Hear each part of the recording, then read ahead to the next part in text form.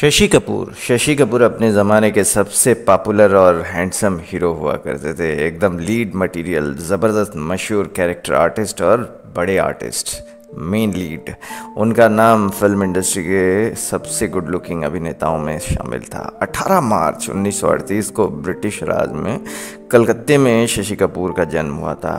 Film जगत के मशहूर निर्माता निर्देशक पृथ्वीराज कपूर के बेटे हैं वो। शशि कपूर का असली नाम बलबीर राज कपूर था और है भी और रहेगा भी। शशि कपूर ने ब्रिटिश अभिनेत्री जेनिफर कैंडल से मैरिज की थी एक ज़माने में। बहुत ही खूबसूरत हीरोइन और ख़ूबसूरत आला प्यार, ज़बरदस्त मोहब्बत थी दोनों में और मोहब्बत है और रहेगी सदा। तीन बच्चे हुए उनके। करिश्मा कपूर, पहली बेटी परिवार की नहीं थी, कपूर परिवार की, जिन्होंने फ़िल्मों में अभिनय किया था। आपको बता दें कि करिश्मा कपूर से पहले संजना कपूर फ़िल्मों में काम कर चुकी हैं। संजना कपूर, शशि कपूर की बेटी। जी हाँ पिता शशि कपूर की प्रोडक्शन में बनी फ़िल्म छत्तीस चौरिंगी लेन में संजना कपूर ने फ़िल्मों में कदम रखा था। इसके बाद 17 साल की उम्र में उत्सव 1984 फ़िल्म में काम किया था। नसरुद्दीन शाह के साथ संजना को पहला लीड रोल साल 1988 में एक फ़िल्म हीरो हीरा लाल में मिला था। उसके बाद मीरा नायर की सलाम बॉम्बे जैसी फ़िल्म में संजना कपूर ने काम किया। बहुत ही खूबसूरत, लेकिन थिएटर ओरिएंटेड आर्टिस्ट 2012 में संजना ने एक थिएटर वेस्ट संगठन जुनून थिएटर की शुरुआत की थी जिसके लिए उन्हें फ्रेंच सम्मान भी दिया जा चुका है।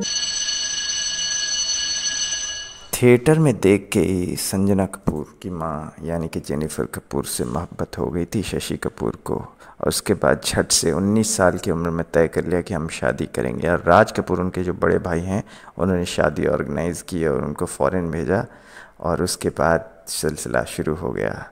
और संजना कपूर की माता जो हैं, यानी कि जेनिफर कपूर भी बहुत थिएटर ओरिएंटेड थी और दोनों ने मिल के एक थिएटर शेक्सपियर आना करके शुरू किया था, यानी कि शशि कपूर और जेनिफर कपूर।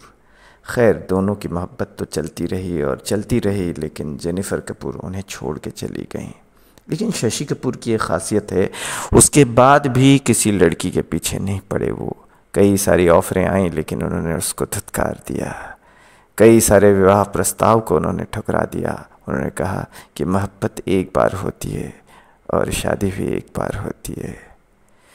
कितना बड़ा दिल, विशाल हृदय था शशि कपूर का। शशि कपूर एक बहुत बड़े इंसान हैं। आर्ट फ़िल्मों में काम करने के लिए और उसको रिलीज़ करने के लिए वो अपने सामान बेच दिया करते थे। उधार लेके फ़िल्में बनाया करते थे। कई सारे लोगों ने उनको टोका, लेकिन हार जीत के बारे में सोचते नहीं थे। राज कपूर के छोटे भाई शशि कपूर और शम्मी कपूर के छोटे भाई शशि कपूर। शशि कपूर ने अपनी एक्टिंग में शम्मी जैसा अंदाज भी कई बार दिखाया। डांस का जो अंदाज है, और डांस वो शम्मी कपूर से ही सीखा करते थे। शान फ़िल्म में अमिताभ बच्चन के साथ और शत्रुघ्न सिन्हा के साथ उन्होंने बहुत ही बढ़िया काम किया था। और एक के बाद एक एक के बाद एक फ़िल्में करते रहे, काम करते रहे। हिट भी हुई फ्लॉप भी हुई, लेकिन एज एन एक्टर उन्होंने हमेशा जीत प्राप्त की। शशि कपूर, रणवीर कपूर को कहते थे थिएटर ग्रुप पृथ्वी थिएटर में कि उनको काम अच्छा करना चाहिए, ताकि जो लेगेसी है वो आगे बढ़ेगी। चाहे काम चले या ना चले फ़िल्म चले या ना चले, लेकिन काम ज़बरदस्त होना चाहिए। काम के प्रति जो इंटेंट यानी कि नीयत होती है एक्टिंग के प्रति, वो नीयत अगर साफ़ है तो आप सफल एक्टर हैं और सदा रहेंगे। जेनिफर की ना होने की वजह से बहुत ही अकेलापन महसूस कर रहे थे शशि कपूर और आखिरी दिनों में सिगरेट का सहारा भी लेते थे। और एक वक्त आया कि सारे जो ऑर्गन से बॉडी के जवाब देने शुरू कर दिए और शशि कपूर की मौत हो जाती है 2017 दिसंबर को। लेकिन जाते जाते एक अच्छी बात सिखा गए कि मेरे पास माँ है या अपने जो प्रिय लोग हैं वो हैं।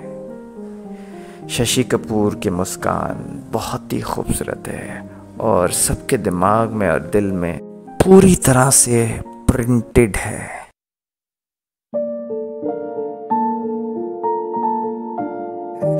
एक बार पेरिस में शशि कपूर जी एक लड़की के साथ शम्मी के सामने नाचने लग गए क्योंकि उनकी ख्वाहिश थी।